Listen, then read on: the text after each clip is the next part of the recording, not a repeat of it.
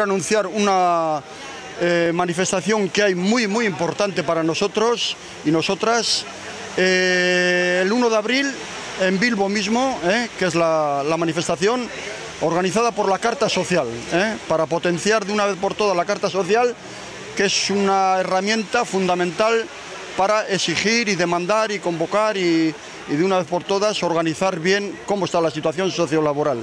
Y por otra parte yo quiero decir que soy uno de los perjudicados, digamos, de, la, bajada de la RGI famosa que se hizo hace cinco años, en el 2012, que no, no, no, no, nadie, nadie encuentra motivos por qué se hizo esa bajada, y yo soy uno de ellos, y como yo eh, creo que somos eh, la comunidad autónoma unas 16.000 personas, kendu ziguten euneko saspi, kopuru honetan da guretzako da diru asko.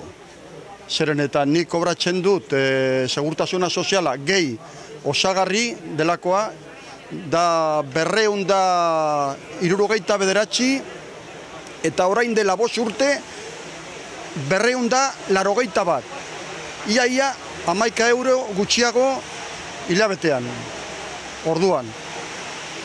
Lotxagarria iruditzen zaigu kopuru honetati kentzeko gainera dirua. Eh? Orduan, e, pensatzen dugu, gutxien kobratzen dugu, gero eta gutxiago kobratuko dugu. Zeren eta gainera, e, urte urte galtzen ari gara, galtzen ari gara, e, erosalmena, baina izugarria, izugarria.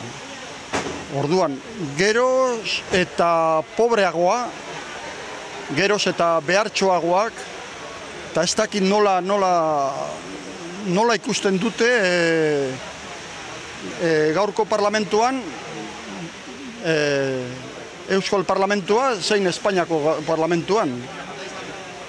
Zeren hori da lotxatzeko moduen, ez da?